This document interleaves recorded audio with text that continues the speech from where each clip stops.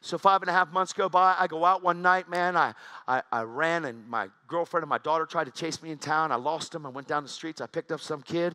I told him I'm a cop. I got him in my car. Told me I had the right to remain silent. Anything you say can and will be used against you in a court of law. I read him his rights. I got the coke in my hand.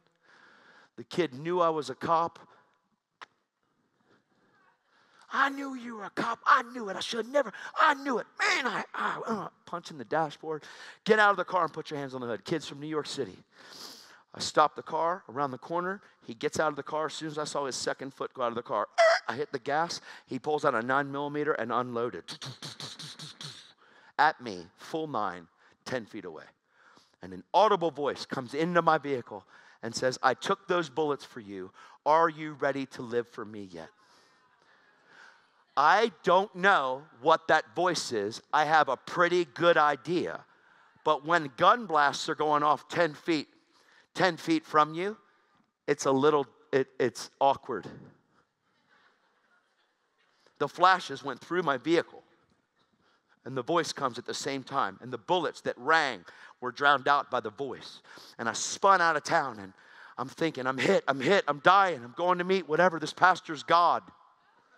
I really thought that.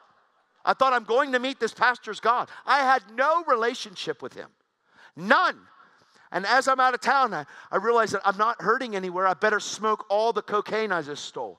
So I did all the cocaine, both, I, I did two eight balls of cocaine, quarter ounce of coke. I smoked the whole thing in fast as I could. And every hit I took, it killed my buzz. The voice, I took those bullets for you. Are you ready yet? I took those bullets for you. Are you ready to live for me yet? All night long, same voice, wouldn't go away. I'm tormented. I pull into my driveway. I'm so petrified. The light's on as usual. I know that my girlfriend and my daughter are on that couch. I know that they're waiting for daddy to come home again.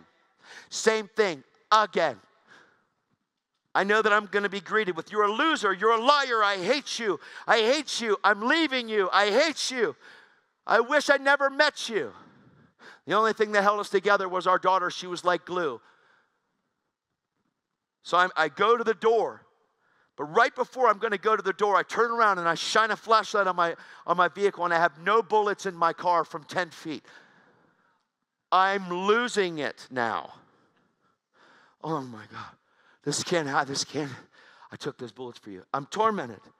I'm actually, he's in me speaking to me. He's in me because I said yes to him. So the seed is in me. I just haven't surrendered to it. He's in me.